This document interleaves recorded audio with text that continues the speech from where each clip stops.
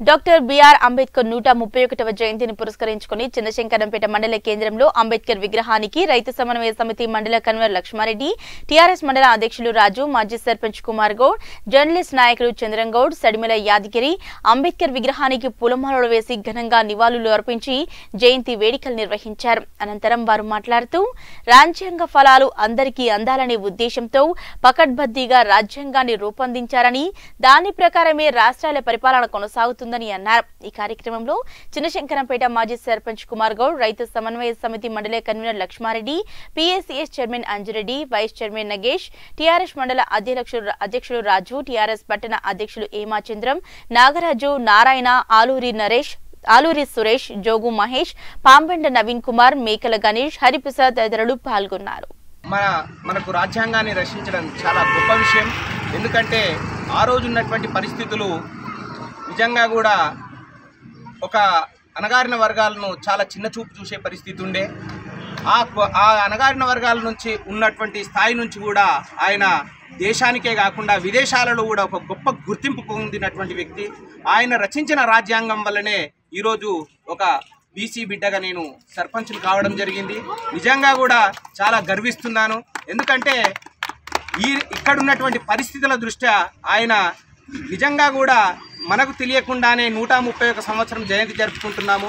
ఆ సం ఆ రోజుల్లోనే ఆయన గ్రహించి భవిష్యత్తులో ఎలా ఉండబోతుంది ఆయన అనుభవించినటువంటి బాధలు ఆయన అనుభవించినటువంటి స్థితిగతులను చూసి ఆ రోజు ఆయన రాజ్యాంగంలో పొందుపరిచిన విధానం చాలా అత్యుద్భు అత్యద్భుతం. నిజంగా గర్విస్తున్నాం. నిజ ఇప్పటికీ కూడా ఇదే విధంగా శాసనసభలోనే కాకుండా చట్టసభల్లో కూడా తప్పకుండా రిజర్వేషన్లు అమలు చేసి కానీ డెబ్బై సంవత్సరాల నుంచి ఈరోజు ప్రపంచము శ్లాఘించినటువంటి ఒక గొప్ప రాజ్యాంగాన్ని మనకి ఇచ్చినటువంటి ఒక గొప్ప మేధావి ఒక మనకు ఒక దైవంతో సమాన సమానమైన వ్యక్తి అలా.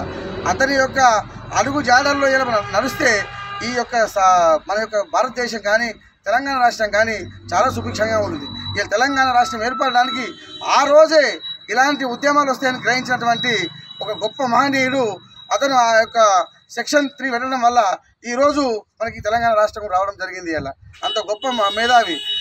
వచ్చేటటువంటి రెండు వందల సంవత్సరాలకు ఏది అవసరమో దాన్ని పొందుపరిచినటువంటి ఒక మహనీయుడు ఇలా డాక్టర్ బిఆర్ అంబేద్కర్ గారు.